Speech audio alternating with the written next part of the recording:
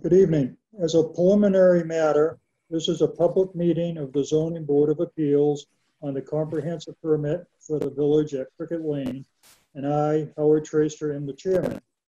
For this particular hearing, alternate member Mario Carnavelli will be seated in place of Elaine Baker, who has recused herself.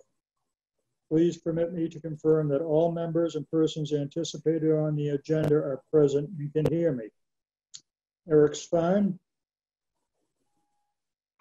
Can you hear me, Eric? He's muted. Okay. Just Hold muted my, yes, I'm here. I just muted myself a second ago, so I'm Okay, here. that's him. Mario Carnavelli.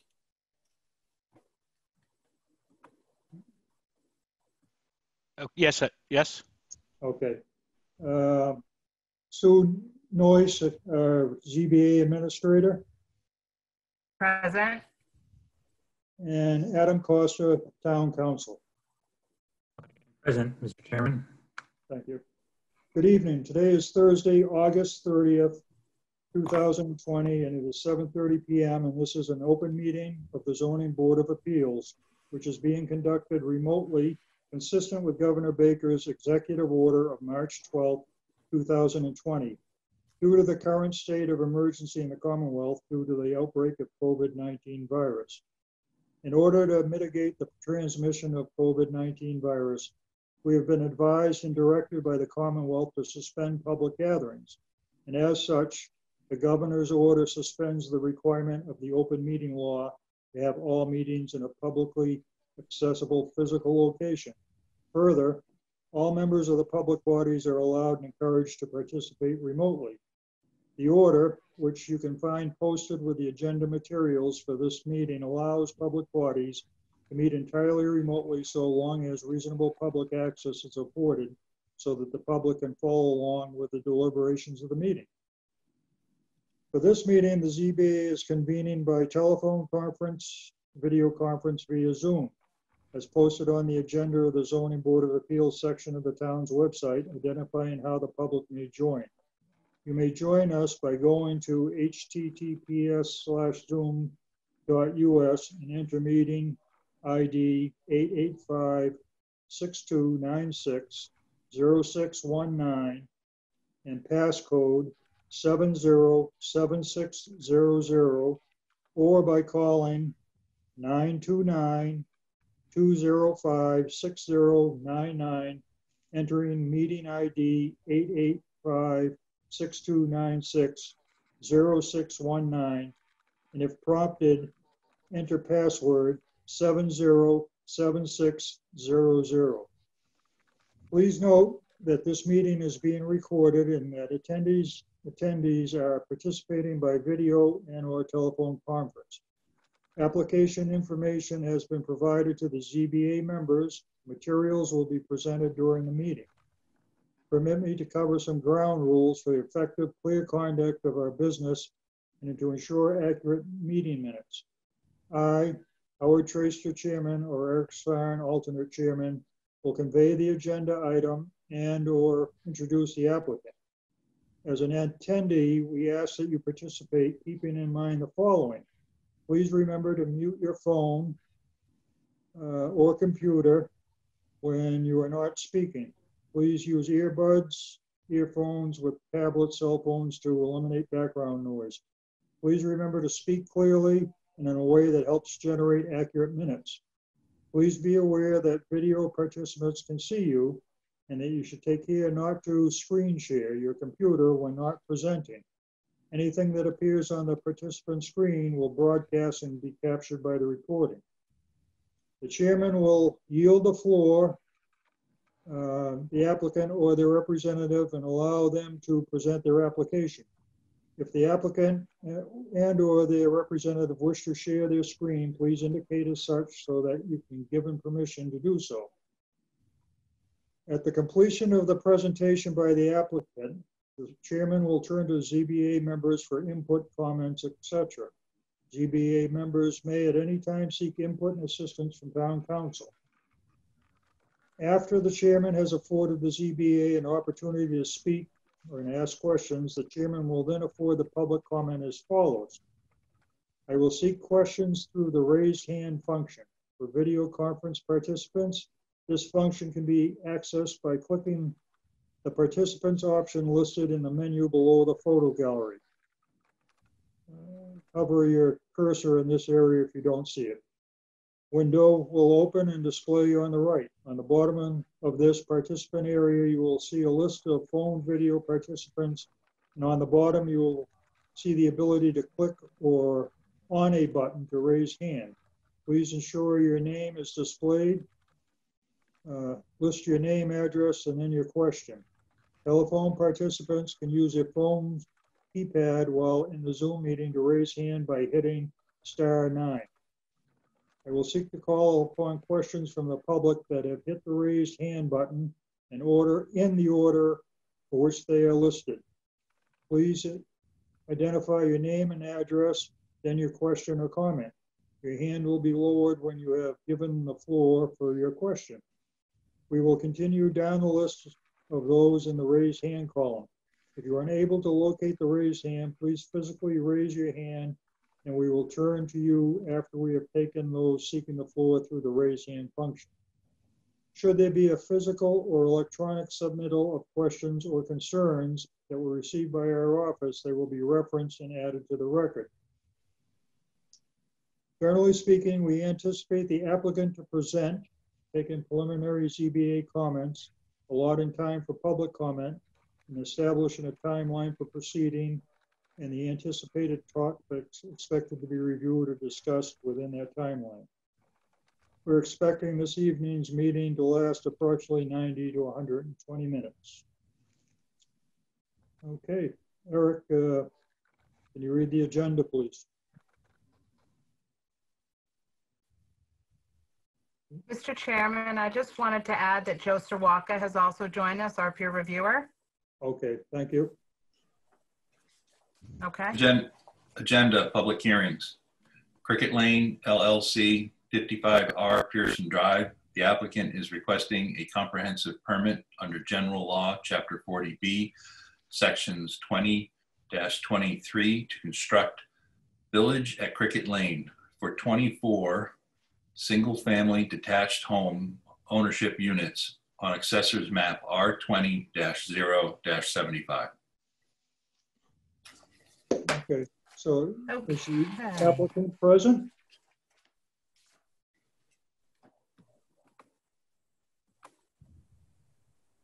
Yes, sir.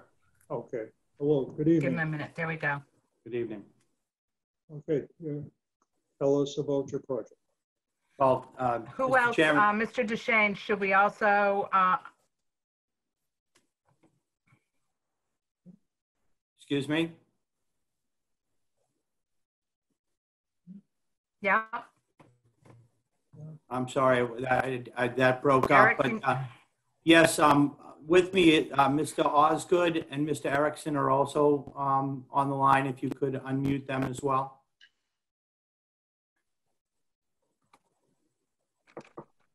Good evening. Okay, I think we're good. Good evening. Good evening. All right, Mr. Chairman, with your permission, I'll start. Um, Mr. Chairman, members of the board, good evening. Um, My name is Douglas Deschenes. I'm an attorney representing Cricket Lane Development LLC, the applicant uh, for this comprehensive permit. Uh, With me this evening, Walter Erickson, who is the manager of Cricket Lane Development, as well as Ben Osgood, our engineer from Ranger Engineering Group. We thank the board for the opportunity to present our project.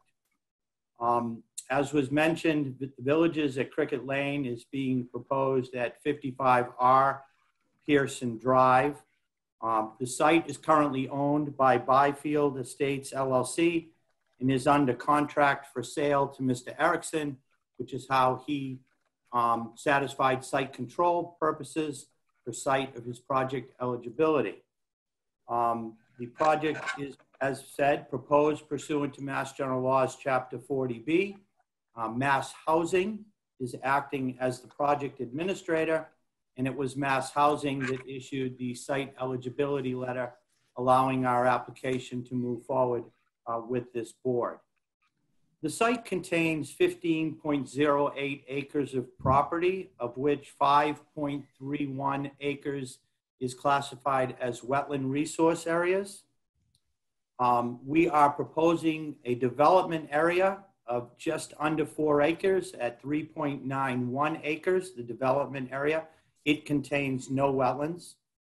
Uh, We are proposing an op- open space within the project of 6.35 acres, of which 1.9 acres is wetlands. And lastly, we are proposing and, and working with the um, Mass Fisheries and Wildlife, we are proposing to donate a, a parcel of 4.8 acres to Fisheries and Wildlife, of which 3.4 acres of it is wetland. So overall, as I said, 15.08 acres, 5.3 acres of wetland. Um, Our proposed open space constitutes just over 74% of the total project site. The proposal is to build 24 single-family detached home ownership units. Um, As this is a 40B project, we are required to provide 25% or six of those units as affordable.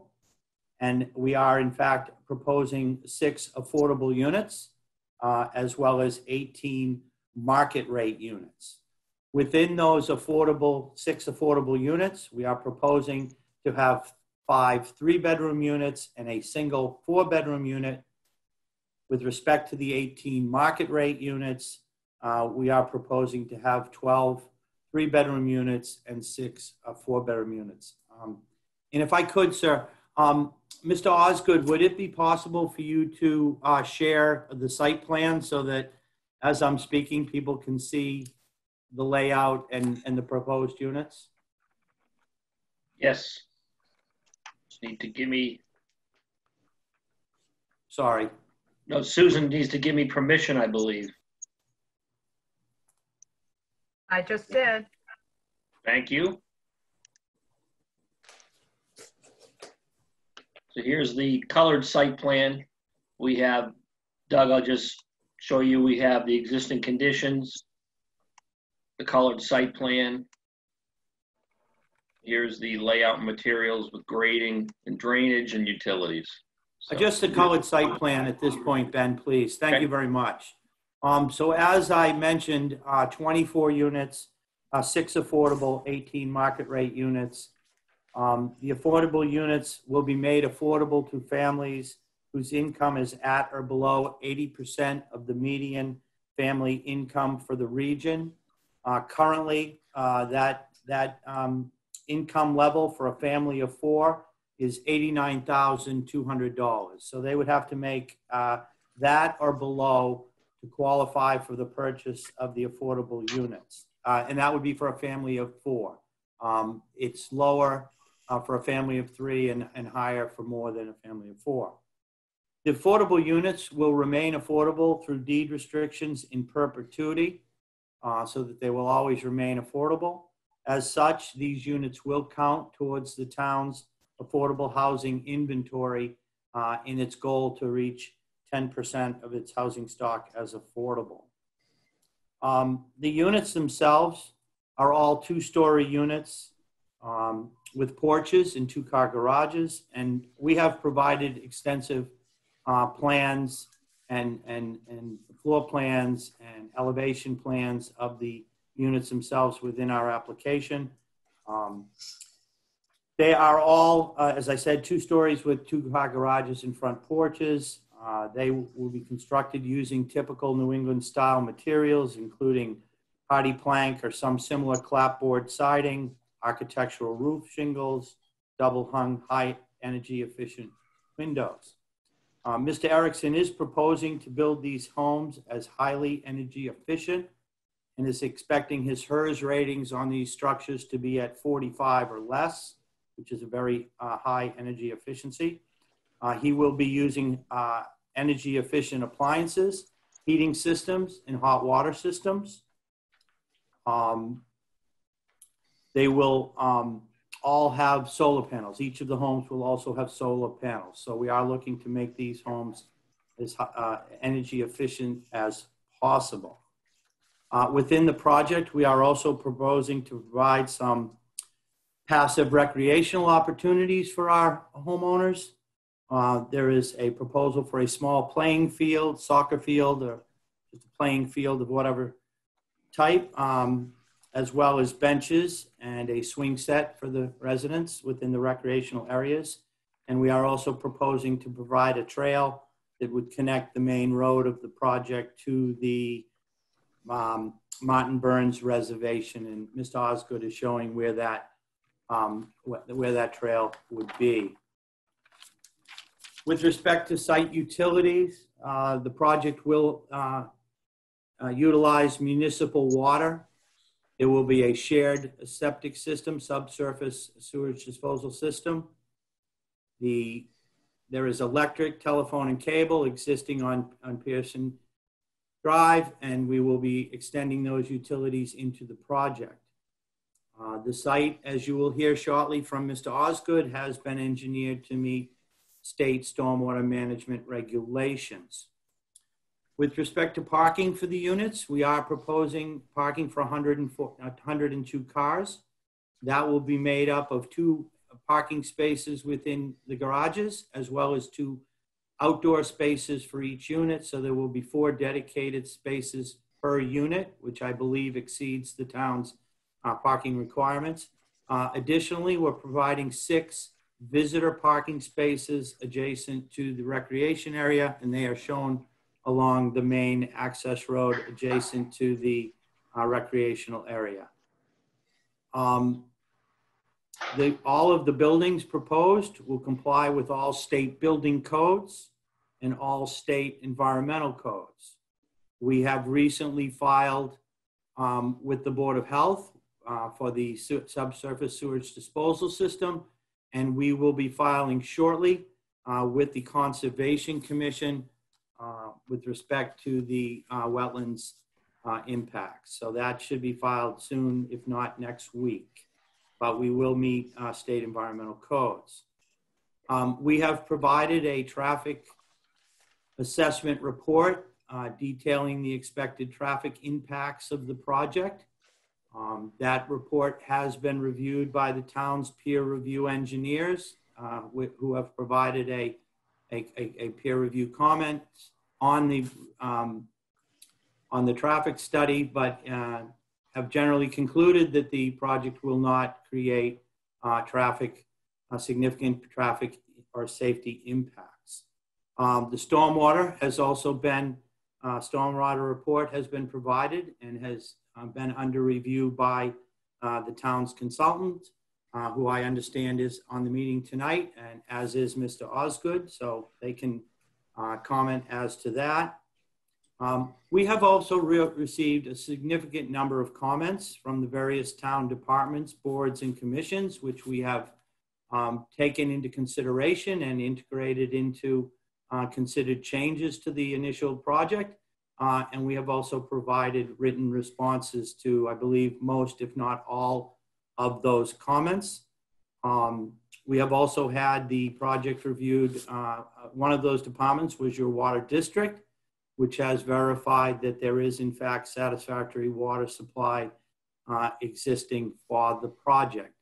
Um, Mr. Chairman, I know that was sort of a brief overview, but uh, given the comprehensive nature of our application and the information that has been provided, I didn't, uh, I assumed you didn't want me to spend an hour or so uh, going through the details, but that was a, a general overview. And with the board's permission, uh, I would ask Mr. Osgood to provide you an overview of the project from an engineering perspective in terms of the, the, the where and whys and the sizes and the lengths and the distances of everything. So with that, if Mr. Osgood could um, provide that um, review, please.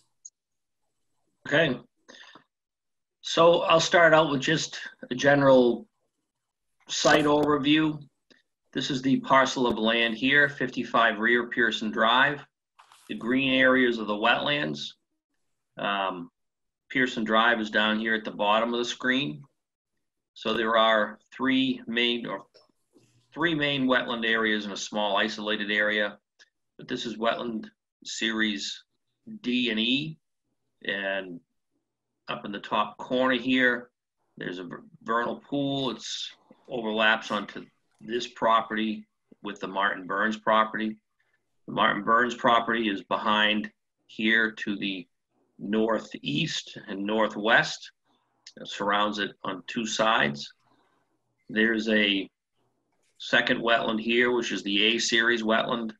And this actually is an isolated land subject to flooding. It is not connected to anything.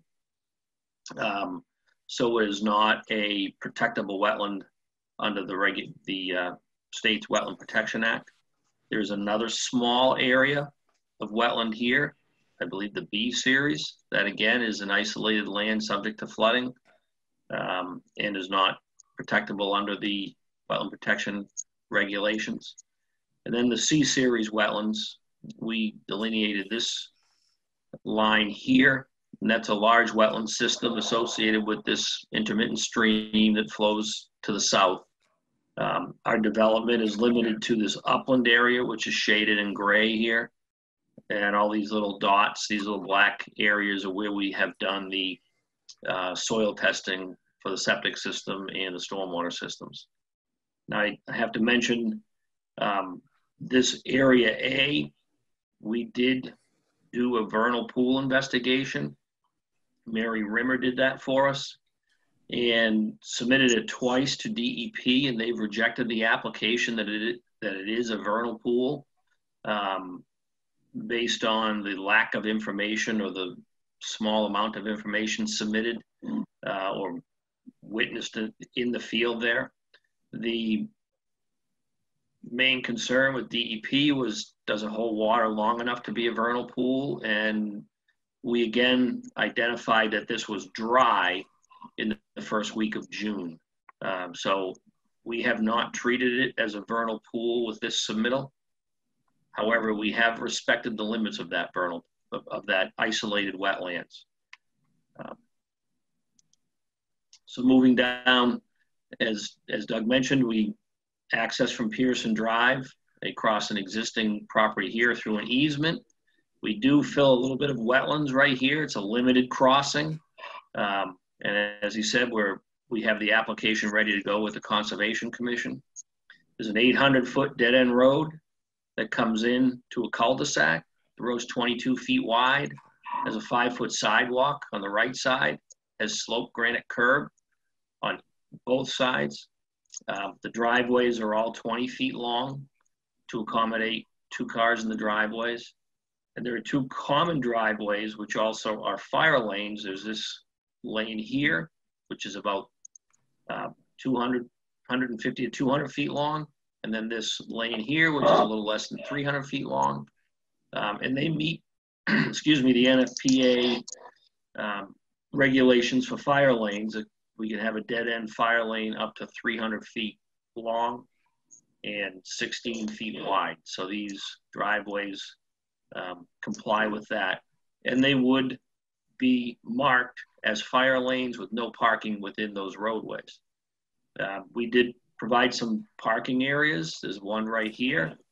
Uh, there's another here. This one here is for the gazebo, which would be the central mail location. We have a playground area here. And then this is the soccer field, playing field area, which is above the septic system. We have two additional parking areas to provide for overflow parking up in the cul-de-sac.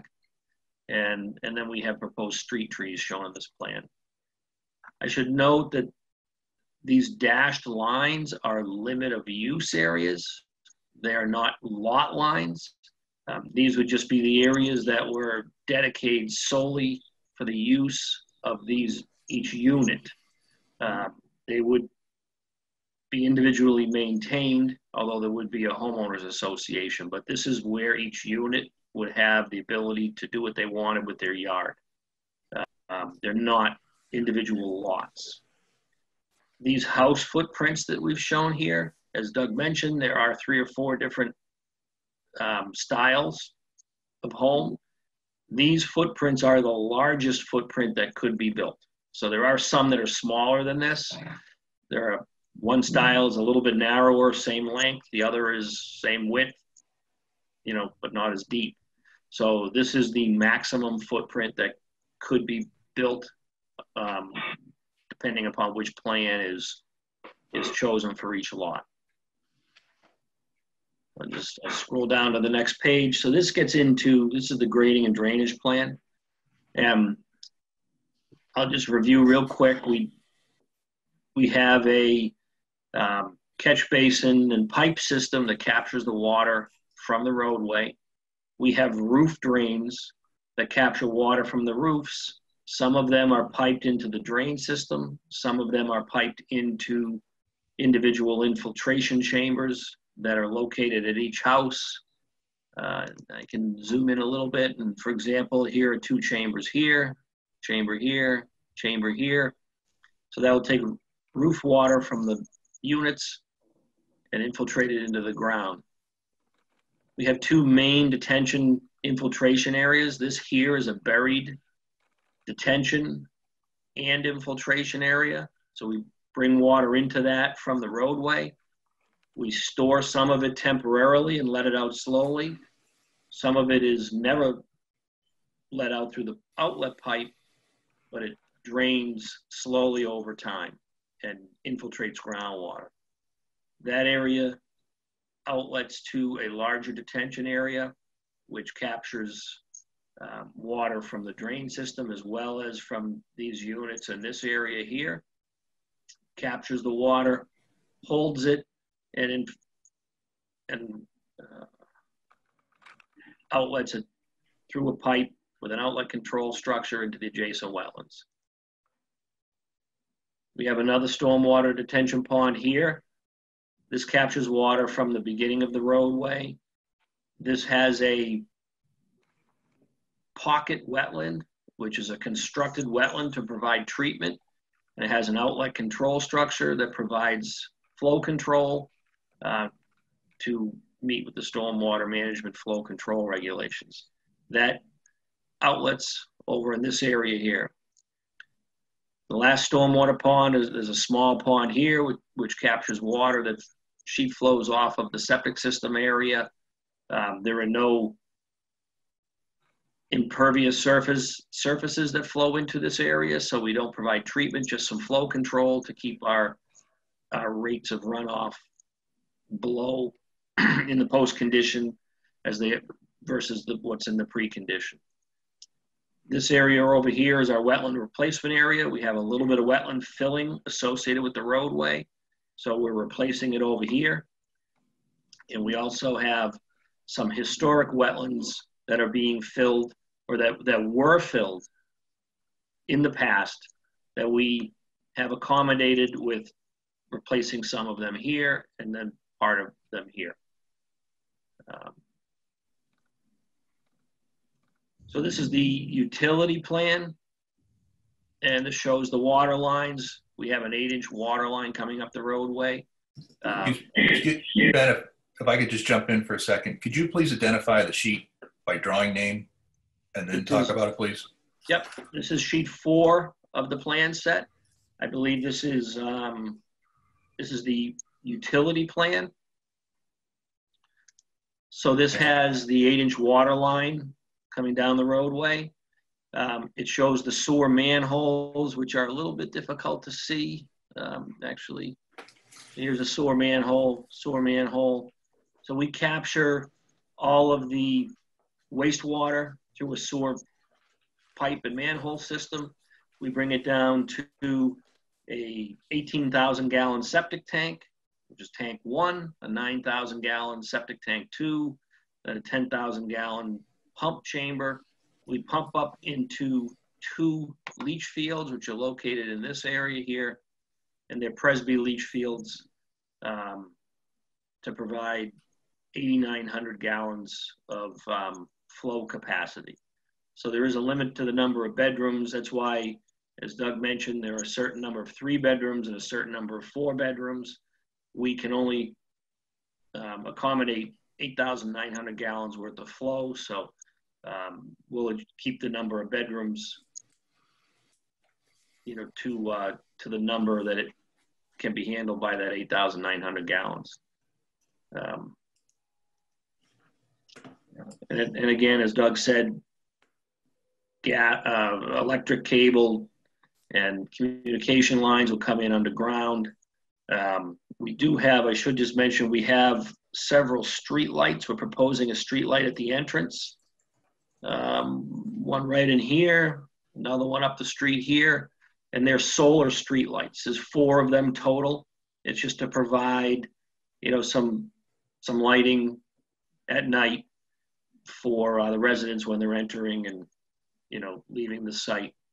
Um, we do have a small, we have a retaining wall here to limit the amount of wetlands filling. and, and I think that's about it. I, you know, we do have buffer zone disturbance. As we've said, we, we're going to the Conservation Commission. We're going to submit next week. Uh, everything is, is all ready to go for that. Um, we feel we meet the regulations. It's a buffer zone project. It's a limited crossing project here for the wetlands. Um, there are some, still some outstanding issues with the stormwater system that Joe Serwatka could comment about. Uh, but I think we have taken care of those with the recent plan revisions that we submitted. We haven't even submitted the hard copies yet, but we have submitted uh, plans that we feel address all of Joe's comments. Um, additional soil testing was done, and I my fault, I neglected to include the soil sheets for the new soil testing in the soil, the drainage report, but he will be receiving those documents uh, by Monday at the latest hard copies. Um, so I think we've addressed everything that Joe has brought up. We haven't heard anything yet from Ann Martin, um, and I guess she's going to take a look at these revised plans next week. So I think that's it. Um, any questions? I'd be happy to answer them. Okay. Eric or uh,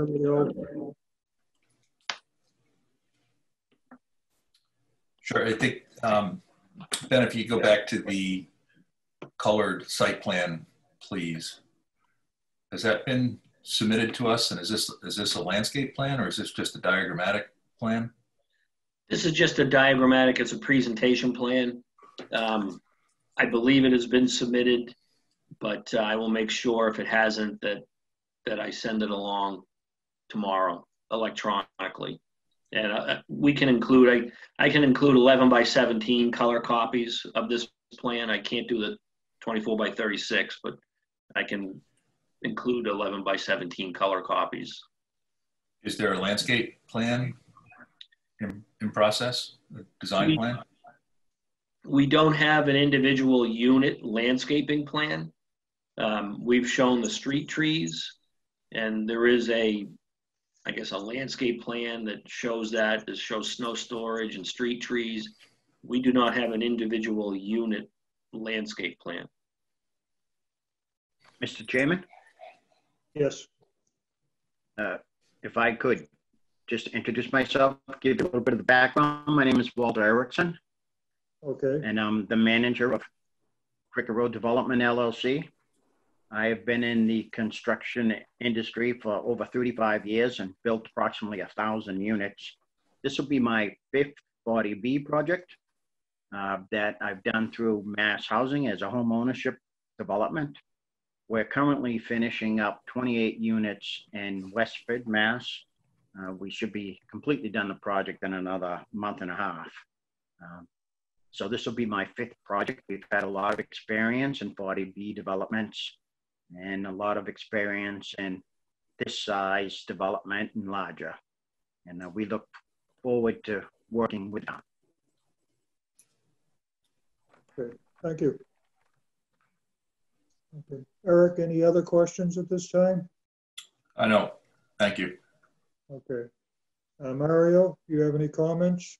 Um, yeah, just a, just a few. Uh, you guys had mentioned that, uh, the Byfield Water Department did say that, uh, there was adequate, uh, water supply.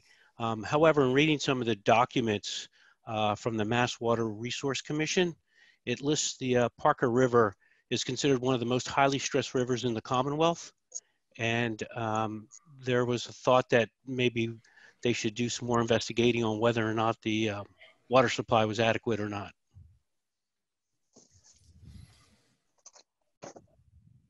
Mr. Chairman, if I could answer? Yeah, please do. Well, um, we have uh, reviewed that information, sir. Um, However, it, it, it is incumbent on us to um, work with your water department, uh, water district to make, to determine whether or not um, there is adequate water available for the project. And as was stated, um, your water department feels that currently their system has adequate water to provide to us. So um, it, it, it appears that, um, you know, our additional water would not be, a have a direct impact as the town has already, in essence, has access to that water to begin with. So this would not require the town to, um, at least according to your water department, eh, you know, seek additional water sources, but that, that they currently have it. Okay. In in addition, Mr. Chairman, Yes, Yep. go if I could, in addition to that, we, we will be using water conservation, water saving devices in the individual homes, low flush toilets, energy efficient shower heads. And for the irrigation system on a project of this size, we typically drill a separate artesian well that we provide irrigation with uh, well water so that we don't use valuable town water. Okay. Good. Uh, One other question uh, regarding the vernal pool. Do you say uh, one does exist? Yes, in the, uh, this is Ben, um, in the north corner here, it overlaps onto the Martin Burns Reservation.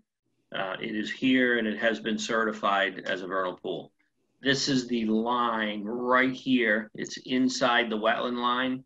That's the limit of the vernal pool that was flagged by Pat Huckery from Fish and Wildlife. Okay. And, um, you know, one of the comments from the Parker River um, Clean Water Association talked about the ratio of um, the, the wetlands. You mentioned a one-to-one in your project, and they recommend a, a, at least a three to five. Um, Ratio? We are, we are providing a 1.5 to 1 replacement ratio.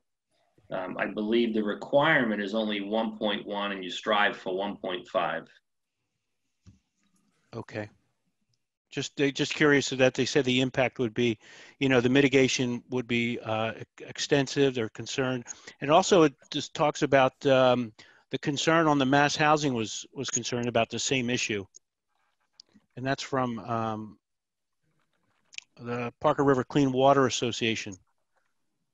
Right. So we're providing, as I said, 1.5, uh, but that includes historic filling that has nothing to do with this project. It was done, as near as we can tell, back in the late 80s, early 90s, and that was on in this area right here, this shaded blue area. Um, so we're replacing that at a 1.5 ratio as well. So um, not only are we compensating for the small amount that we're filling here, we're taking care of this area that was filled previously. Okay. Um, the other th- issue was the fire department. I know you guys had said that uh, it meets the standards. However, you know, and just in reading some of the documents that the uh, chief had mentioned, uh, you know, getting emergency vehicles, la- larger vehicles would in reverse direction on two proposed dead end streets would, you know, probably encroach on the adjacent properties or the vehicles would have to actually back down the streets. Right, they would have, they would have to back down the streets, um, but it does meet the requirements of the NFPA. Um, and then, and I know, I think I heard Walter trying, he was gonna speak. Um, I believe, Walter, correct me if I'm wrong, you're gonna have residential sprinkler systems in these units. That's correct. Although we haven't had a chance to meet with the fire department yet, we've contacted them a few times and we will be meeting with them. But in order to uh, provide some additional fire protection, we're going to put individual residential sprinkler systems in every home. Okay. And, and the other concern from the fire department was, uh, you know, the 15 feet versus 20. And, and I did read your information that had the fireproofing that only needs uh, 15 uh, feet uh, distance. However, I think the concern was uh, getting a fire equipment in the rear of the buildings or the homes because there's no other access except in between the homes. Right, the building code allows the homes to be as close as five feet. with Without hard- any, without any rear entrance, Correct, rear access? correct. And- Mr. and Chairman, with if the- I could, I- I'd like to reiterate the fact that, um, w- you know, we are, we are cognizant of the, the, the fire department uh, comments. And we, we have in fact reached out to the chief um, a number of times seeking a meeting to sit down and, and work through some of these issues. And um, we have been unsuccessful to date in, in receiving a response to allow for that meeting, but we will continue to press forth. And uh, we will be sitting down with the fire chief if he'll grant us the time um, to talk about some of those things and to um, see if some of those can be addressed. Um, so again, we are looking to uh, work with your fire department uh, to address their comments. And we'll do so as soon as um, they're ready. All right, thank you for making us aware of that. Mr. Chairman, Yes, Mr. Chairman, this is Susan. right. I so- did hear from the fire department today. Can you hear me okay? Yep. Can you, okay. Um, and they did acknowledge, they did acknowledge that the applicant has attempted to reach out to them a couple of times. They did get back to them and say they would prefer to meet, um, more in a group, including some other people. Um, at this juncture, it may just make sense to invite the fire chief to our next meeting. Okay. That sounds like a good idea.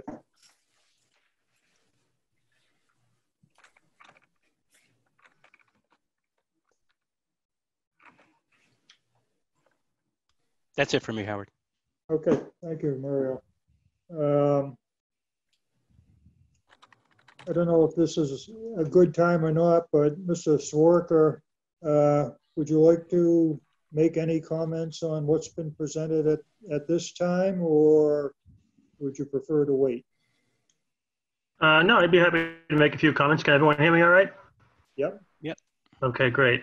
Uh, as Ben mentioned, I'm, I'm just waiting for a few outstanding issues to be addressed, uh, most, mostly relative to soil tests that were conducted on the site. And he mentioned that that would be available, available to me on Monday. So um, just a few outstanding items, but uh, we've done two reviews and most of the issues have been addressed relative to stormwater.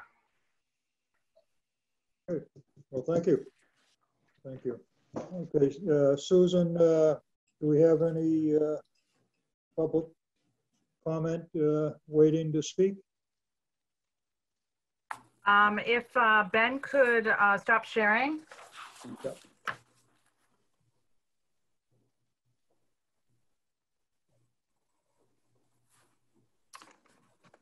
So, um, I see that Mr. Erickson has his hand up. Are you all set now, Walter? I'm all set now. Thank you very much. Okay. Um, I see someone named Eric Guest. I'm going to unmute. Um, if you could state who you are. Sure. My name is Eric Eidrider. I'm at 2 Pearson Drive. Um, so I'm, it was stated in the developer's presentation that a traffic study found that the development would not create significant traffic or safety impacts. Um, and I walk a lot around the neighborhood and I see people actually who live on neighboring streets coming to Pearson Drive because it's a nice, you know, pleasant area. And it sounds to me like, you know, traffic would increase approximately 30 to 40% um, if we're talking about adding 24 homes to a neighborhood of 60 to 70.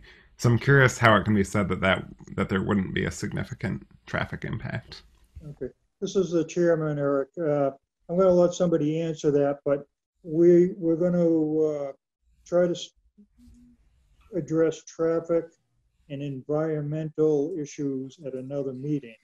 But I'm going to let someone answer your question and uh, we'll, it, it's more uh, directed towards the, the plan in general and in uh, stormwater, civil engineering aspects tonight. So Understood. Thank it's you. a question, if we have more, and we'll get a response for you.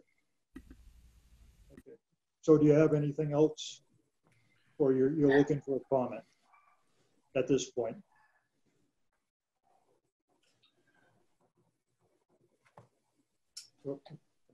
Sorry, couldn't hear you. Okay. Ben, Uh, can can That was you, all. uh, right, hold on. thank you. There we go. Okay, Mr. Chairman? or whoever, Doug. Yes. You can speak, Doug. Yeah, We're frozen.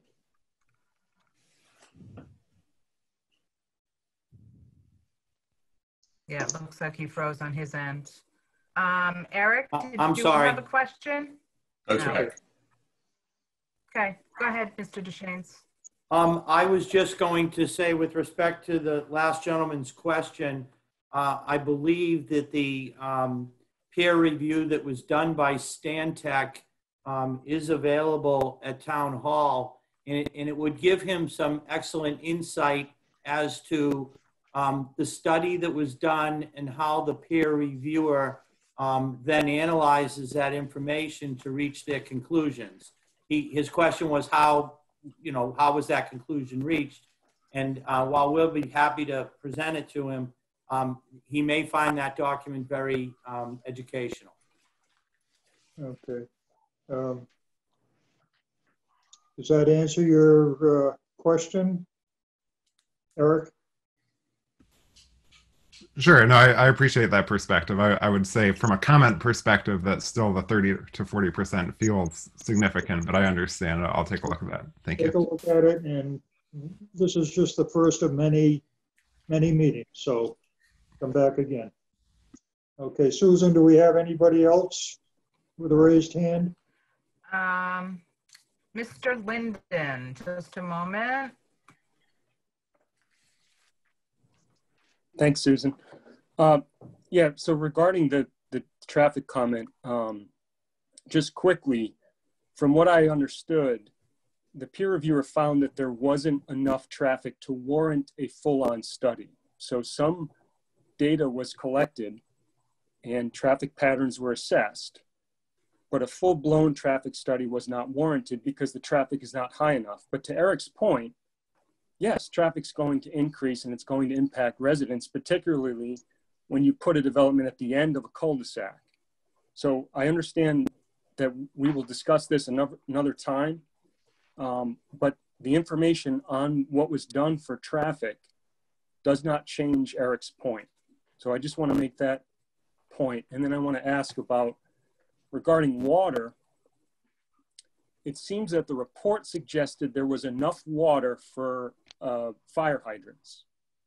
It did not say anything about residential use. So what is the water draw of 24 houses going to do not only to the water in the district, which has been overdrawing for, you know, 10 years now, um, but what is it going to do to the rest of the residents in Pearson Drive who constantly complain about water pressure problems at certain times of the year? I mean, it's not surprising on the North Shore that different communities are having restrictions because of, of water availability.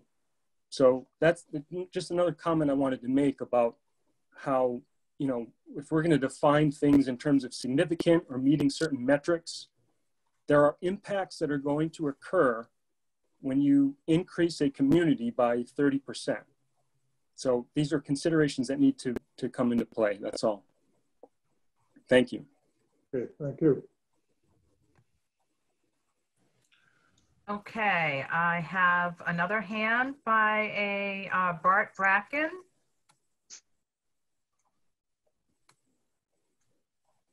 Hi, uh, thank you for having You this could, hearing. there we go. Can you hear me okay? Can you hear me?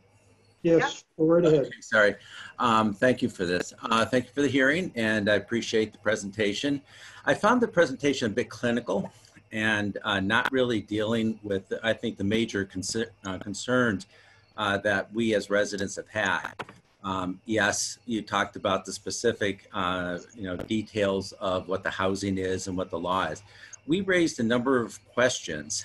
Um, I think there's a number of letters that were sent back, and this is my question really to more of um, our representatives here, uh, the zoning uh, board uh, members, is that we um, identified numerous misrepresentations on the 40B application.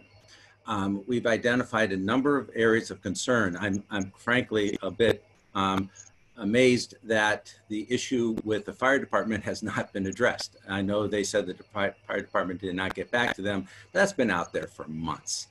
Um, so what is the um, zoning board doing in terms of proceeding with this? Have they assumed that the 40B application is appropriate and, and the letter of um, approval is um, not, is impeachable?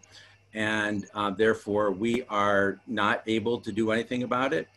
Uh, because I, I, I frankly am amazed that we still are sitting here discussing a cul-de-sac at the end of a cul-de-sac with numerous environmental, water, traffic issues and concerns. When there are other places that's better to build this um, 40B, of which I totally support. I totally support 40B, but this just absolutely makes no sense. And I just want to know what the um, zoning board is doing to address the numerous concerns that have been raised numerous times. Okay, so uh, I'll, I'll speak for myself and the board, I believe, that this is just the beginning tonight. Uh, we're allowing the applicant to present in a public hearing. And we do have a record of all the concerns uh, from letters from the public, from the departments, uh, the different boards, and they're all going to be taken uh, seriously. But uh, we have to start tonight by allowing the applicant to uh, make their presentation to the public. And then we will address what we think needs to be addressed as the meetings go on. This is not going to be just one night. This is just an introduction really tonight. So does that answer your concerns? I'm not talking about specific uh, things that you asked, but as far as how this is going to be handled.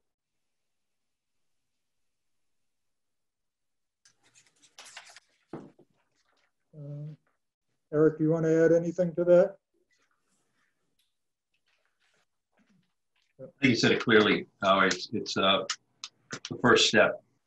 And, and I think the gentleman raised some valid questions as to uh, concerns of the application and concerns of the letter of approval. Um, we do have a fair amount of information here and it needs to be it needs to be discussed in a logical way so that um, so that we can build on the comments. So I do think Howie is part of um, the understanding maybe there is some um, direction or outlay that, that needs to be done to um, to lay out the discussion before us. And I, I don't know if we we have that you know, tonight we have some consultants, we're staggering other consultants, so not all questions can be, uh, that are asked can be addressed because we have certain um, third-party reviewers that, that we're not having all on the same night because we, we would never get through it all. Excuse me, Mr. Chairman. Yes, go ahead, Ben. Um, Doug just texted me. He lost his connection. Okay. Yeah, uh, he's going to try to get back on, but I think it's important that he be on the call. Yes, I agree. Mr. Chairman? In the meantime, did you want to take another question from Mr. Linden? Uh, uh, Adam Costa, our town counsel, would like to speak. So uh, can you put him on? I, I'm I'm on. I think I I have uh, I'm I'm unmuted. So um so thank you, Susan. Thank you, uh, Mr. Chairman. So I just thought that if you'd indulge me for a moment, um, particularly where Attorney Deschenes is not on uh, on the meeting at the moment, and I think he'd, he'd trust me to sort of give it to you straight, uh, even in his absence. Uh, but I, I think it may be beneficial, not not so much for board members, because I know I've had occasion in the past to talk to board members about the 40B process, and I know that you as a zoning board are familiar with what the process entails, but members of the public, although there has been a prior application for this site, um, may not be all that aware about um, how the process works and how, frankly, it differs from more traditional permitting processes that exist in municipalities. Um, many, member, many members of the community and many applicants are familiar with and aware of traditional special permits or variances, orders of conditions, and how those processes work. And um, the good news from a municipal perspective with respect to those other types of permits that generally the municipality has a great degree of discretion. Uh, zoning boards can deny special permits and the substantial majority of the time, those denials they are challenged in a courtroom or elsewhere are upheld. Same thing with respect to decisions with regard to variances or site plan approvals or denials, orders of conditions. The Chapter 40B permit, also known as the comprehensive permit, is a bit different. And it's different for a couple of reasons. One, the permitting process itself is different. It is exactly what it sounds like. It's a comprehensive permit, meaning that your board, lucky you, have the authority of many other local boards. You stand in the shoes of the Conservation Commission applying the local wetlands bylaw. You stand in the shoes of Board of Health applying any local Board of Health rules and regulations you act as special permit granting authority, essentially. You act as site plan review authority, essentially. You have all of that various authority and you're required to exercise it as part of a single process, this, this process that's now underway. Additionally, in the event that you act too quickly or you act without complete review of the application before you to simply deny it, and I appreciate that there are contentious projects, there are projects that um, may not sit well with neighbors and butters, residents, and the question might be asked, why don't you just deny this uh, out, of, out of turn immediately without wasting time and effort in reviewing the project? Well, the answer I would give you is, unlike those other special permits and variances that I referenced a moment ago, if you deny a comprehensive permit, it doesn't go straight to court and you're not entitled to that same deference that you're entitled to with the other permits. It goes first to an administrative agency, the Housing Appeals Committee, and rather than you being entitled to deference, the law, the law that seeks to create affordable housing, this, this Chapter 40B law, the law is entitled to deference. And it's an uphill battle for the town to support a straight up denial of a comprehensive permit. I'm not saying it's impossible. I'm not saying it's a foregone conclusion that this project is approved. I'm not saying anything of that, of that sort. I'm just saying that it is a, a complex and comprehensive process. The regulations uh, give you up to 180 days to complete that process. Um, and so there's a reason for that. And the reason is because there are multiple reviews required to be performed by this board. It's expected that you will bring in different peer review consultants to provide you with the expertise that you need to answer abutters concerns, residents concerns, legal concerns, practical concerns. So I guess in some ways I'm echoing what the board members have already said that this is the first of what will be several meetings. How many, we don't know. And certainly my recommendation to the board will be that we structure future meetings to be on topic, that we have a meeting that is dedicated um, substantially, or at least in, in, in substantial part, to the topic of traffic.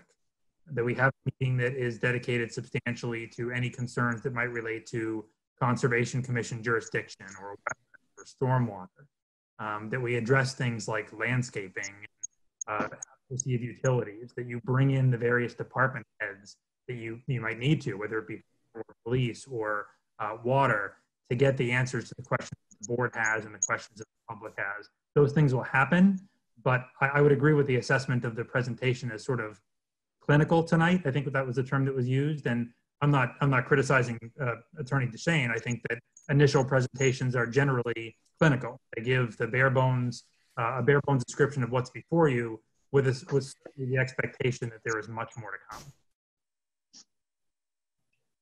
Okay, thank you. Um, does that answer your questions clearly? about the process. Uh, I forgot who asked the question, so Um, I think it was probably a combination between Bart and, uh, Mr. Linden, so, um, I think, you know, they've all heard what Adam and yourself have said at this point. Um, I see that Mr. Linden still has a question, and then perhaps we can turn it over to, back to Mr. Deschenes and see, um, what else he had, can add to the conversation.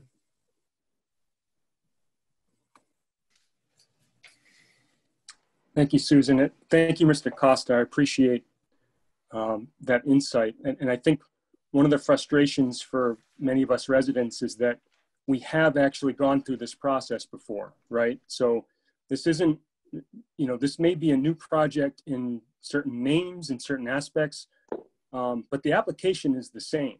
And all of the concerns that were previously raised have been hashed out. And so I think some of us are frustrated with a day one meeting where not only are we on a time limit, we, we can't, this, these meetings can't go into perpetuity, right? We are on a time limit, limit. Um, and so I guess we are looking for, you know, what is the strategy here for discussing this? Um, so I appreciate the, the suggestion that the meetings have a structure. And I also appreciate that the first meeting is intentionally, you know, an introduction. So um, I'll save more comments for for other meetings, but thanks for commenting on that. Okay. So do we have any other raised hands? And is Mr. Deschenes back with us? Yes, I am, Mr. Chairman. I apologize. I'm a victim of uh, our, the internet crashing, I, our, our Wi-Fi crashing. I'm sorry. Okay, uh, no need to apologize.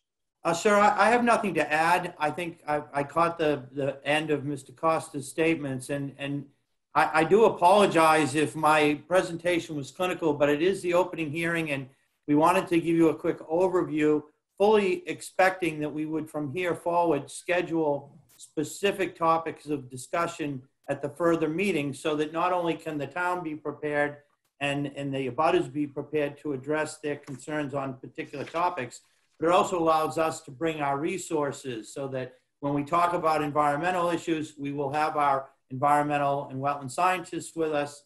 When we talk about traffic, we can have our traffic experts as well. So um, I do expect to follow along the, the guidelines uh, set forth by Mr. Costa, Attorney Costa.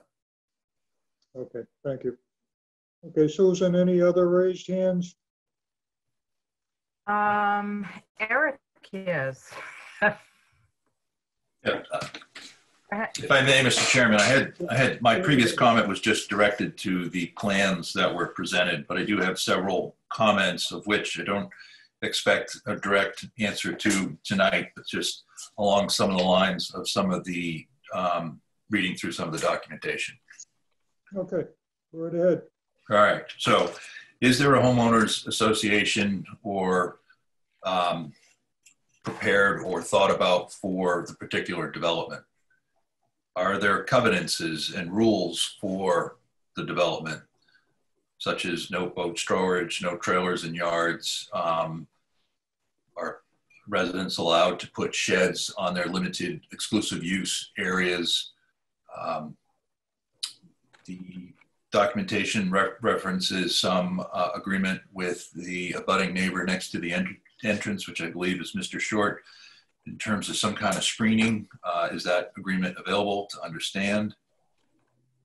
Uh, what other developments exist in Newbury that are similar or the same as, as proposed as Cricket Lane? Uh, the traffic study was done, the traffic assessment was done in October of 2016. Is there a need for an updated traffic assessment or a full study? Is there a list of all requested waivers? Is there a list of ZBA bylaw requested wa- waivers? Um, talked about site access.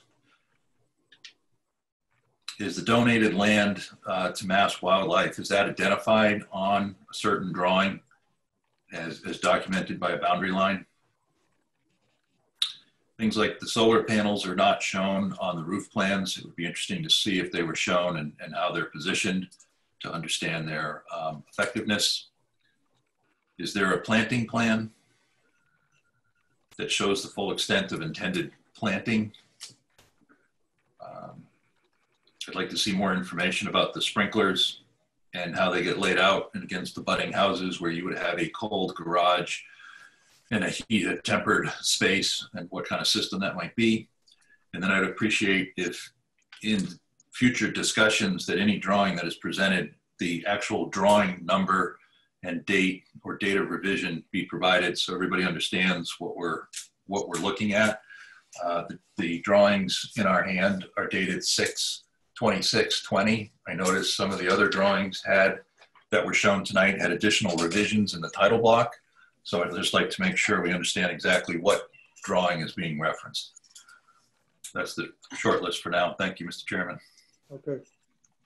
Mario, do you have anything to add at this time? No, I think uh, Eric did a pretty good job on that. Thanks. Okay. All right. So, Um, if I could ask, um, Mr. Costa, could you address the time frame as it relates to the application filing and the current legislation? So, uh, so I'd be happy to, um, with your permission, Mr. Chairman. go right ahead. So I mentioned before that under uh, 760 CMR 56, which is a section of the Code of Massachusetts regulations that governs 40B developments and the Chapter 40B comprehensive permit process locally, there is a 180-day time frame that is contemplated. And that time frame runs from the date of opening the public hearing until the date of closing the public hearing. And then there's a 40 day period after the close of the public hearing, during which time the board is expected to render a decision and file that decision with the town clerk's office. Um, I will tell you, and I think you've had this experience before, maybe even with the, the previous project proposed for the site, that sometimes the review process lasts, even in the absence of, uh, a worldwide pandemic, um, lasts more than the 180 days, simply because there is so much to accomplish uh, during the course of that process. So my experience with uh, most applicants, and I have experience um, representing municipalities, both in dealing with Attorney Deschenes and in dealing with Mr. Erickson, um, that applicants, including both of them, have been quite cooperative in providing the necessary time for a board to fully review, fully vet, uh, and get comfortable with the development, whether that results in an approval or a denial, putting the board in a position where it's prepared to render a decision. Um, with that said, we also now have the benefit of the governor's orders, and we have the benefit of Chapter 53 of the Acts of 2020, which was special legislation adopted back in May, uh, May or early June, um, that uh, acknowledged uh, the presence of COVID-19 and the state of emergency in Massachusetts and told certain timeframes. Um, it's a bit unclear because of the nature of what has transpired in recent months. Early in the pandemic, most municipal boards are not meeting. So the legislation uh, provides flexibility to not convene public hearings. It told certain hearing deadlines uh, that might have already been underway as of the declaration of a state of emergency in early March. But in a circumstance like this, where the public hearing has gotten underway, uh, got underway after the, the state of emergency was declared, but Newbury, like most communities, are now conducting these virtual meetings through Zoom and similar platforms. It's a bit unclear what that does to the full 180 day time frame. Um, again, I don't think it will be problematic regardless. I think we have the benefit of number one, even though the public hearing was open prior to tonight, tonight is the first substantive session of the public hearing, and I think we all acknowledge that. Um, and second of all, I, I think that um, applicants um, in other contexts outside of 40B have been cooperative with municipalities over the past few months, recognizing just the reality that we are in uncharted territory. And I find it very hard to believe that any judge is going to be sympathetic to an overzealous applicant or an overzealous municipality uh, who's trying to use COVID 19 and the delays to their advantage. Certainly, one thing that's clear under the special legislation is that there can't be a claim of a constructive approval so long as the, the state of emergency is in effect. So that was a very long answer, but the, the short version is I'm comfortable that given given the ongoing state of emergency, given even the 180 day time frame that exists under the regulations, the board is not facing any sort of impending deadline. Okay, thank you. Okay. So, do we have any other uh, raised hands from the public? Uh, not at this time. Okay.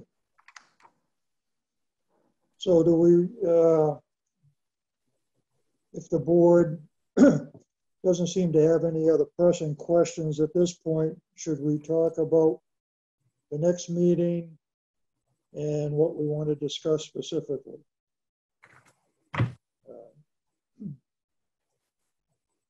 Eric and Mario? Mr. Chairman?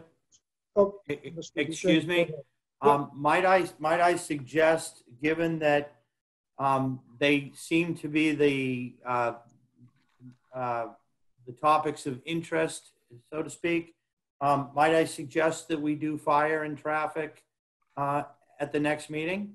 And, and take on what appear to be the bigger questions, uh, on the project? It it sounds fine to me. Eric, uh, how do you feel?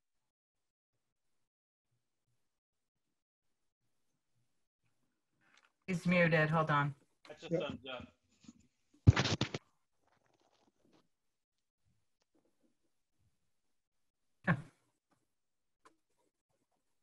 Am I good? Okay, Eric. All right, yes, I would, I would agree with that. And if we, if we have, um, might we set up the next meeting after, after that, or at least, um, at the next meeting, try to set an agenda if we have planning board or police or town or some other review that we try to, um, address that so that there's a logical order. But I'm in agreement with fire and traffic. Uh, Mario? I might, Go ahead.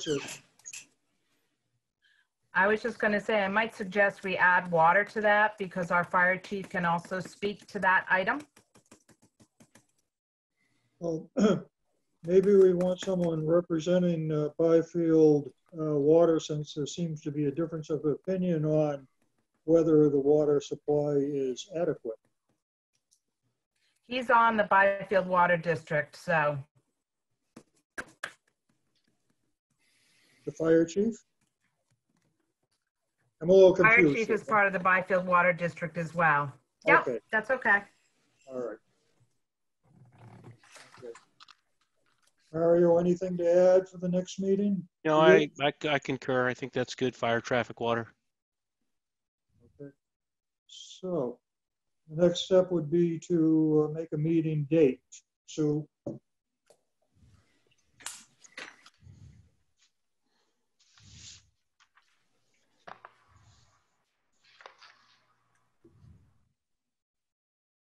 So for September, we have, um, typically our normal meeting night would be the 17th for other ZBA-related items.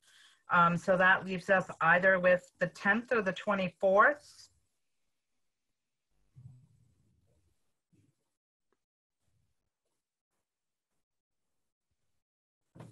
Eric and Mario, any preference on those dates or availability?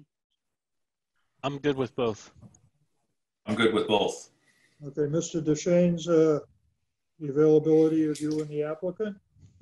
Uh, Mr. Chairman, I am checking my schedule as we speak, but I can assure you that I will make myself available for either date.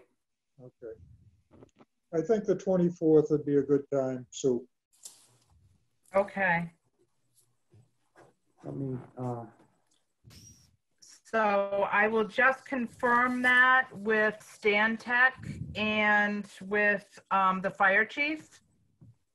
And confirm that on the beginning of next week if everybody um, finds that acceptable. I- I'm sorry, Mr. Chairman, if I could, I did just check my schedule and I, I must apologize. I, I am scheduled to be out of the state on the 24th. If there is any date near about that time, um, I would appreciate if the board could accommodate that. I'm sorry, it's, um, I, I just checked my schedule. The 24th is a very difficult date for me. Okay. Um, Sorry. So I have, no I problem. haven't solidified the 17th. So we could swap the two Thursdays if you'd like. I- I That would would be- ve- very much appreciate that. Okay, that's fine with me also. I think, uh, uh, if, we're, we're available for both nights, so if we switch the, uh, dates, it'll work. Okay, right. Okay. Okay, so seventeenth, I apologize for that. it's okay. And are, are you agreeable to my confirming that with the Stantec and the fire chief at the beginning of next week, Mr. Deschenes? Okay. Oh, yes, of course. We'll, we'll help you with that. Okay. All right. Uh, So if there's no other business, uh, I'll ask that we uh, have a motion to uh, continue the meeting to the 17th. Looks like, looks like Eric has a question. Okay, that's fine. Mr. Chairman, is there any new information that needs to be delivered or disseminated? Or do we, do we have everything that's been issued to us? Or are there revisions or something else that's coming our way before the next meeting? Who are you asking, Eric? Uh, I'm asking the applicant. Yeah, I guess, you know, Sue would have anything in her possession, would have let us know what, that something was coming. So is there any planned updates? Just, I, I do know that um, Mr. Osgood is providing some updated information uh, to your peer review consultants. Um, We are expecting to receive peer review comments from your environmental uh, peer reviewer, so I suspect that will be new uh, information. Um, I am also hoping that I will have an opportunity to go through my notes tonight and potentially provide written responses to some of the questions that the abutters had. I will make sure that those are provided at least in a week in advance of the meeting. So at this point, uh, those are the kinds of things I would expect uh, that you would receive prior to that meeting. thank you. Okay, And if I could, if I could also add, um, go ahead, Ben. we did, we did address uh, Joe Serwatka's second round of comments, and we submitted electronically those plans and yesterday. And we'll make the copies and get the hard copies to the board um, by Monday at the latest. Um, and if I could also add, you referenced a letter from the Parker River Watershed Association. I don't know that we've seen that. I'm not sure if you've seen it, Doug. No, I was going to call tomorrow and ask for it. Okay, and, and so maybe, I'm just wondering, I know it, this whole situation is so difficult and, um, I know Sue, you had posted things online previously. I don't know if it's just not able to be done now. Uh, you know, and you had done a very good job the, the last time we were here, posting everything when it was received, labeling it, and it was a very good resource for us to keep up to date. I don't know if that's possible now, or even just a list of what's received, so we could just kind of take a look at it and say, hey, can you send us this? Um, Yeah, I, I'm fairly certain that the pie letter was sent. It is dated 2019, um, okay, September of 2019. So I will make sure that is sent out to you again. And just confirm the list of comments that I've received from the different departments and other organizations and abutters. And, and Sue, the other one uh, regarding the water was Kristen Grubbs, for environmental planner. Mhm. She had mentioned the same Yeah. thing. Clean water. Yeah.